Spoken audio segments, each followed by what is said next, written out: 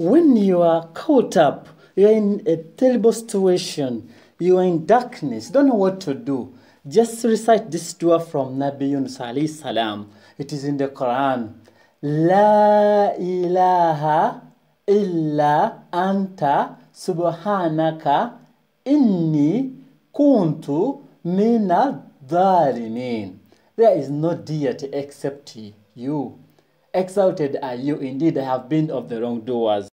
When you are caught